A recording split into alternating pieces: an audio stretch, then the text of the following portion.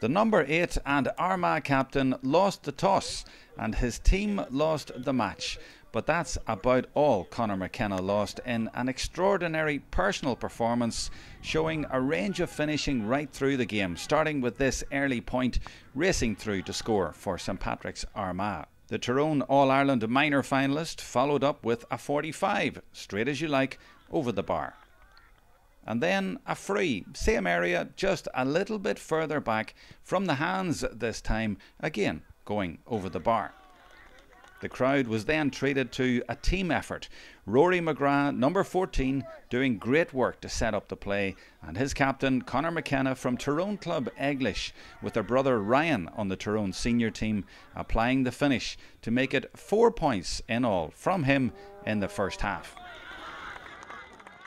The lights were needed for the second half at the Mid Ulster Arena in Cookstown. Armagh came out fighting and traded scores for the first quarter, with McKenna again accurate from frees. But the best was yet to come, taking possession near the sideline and kicking left footed this time, a monster effort, dropping just over the crossbar. That's six points for the Danske Bank Ulster College's All Star. All he needed really was a goal and it came too, right footed this time, unstoppable. Conor added one more point to make it 1 7 in total, a remarkable personal performance considering his team still lost by five.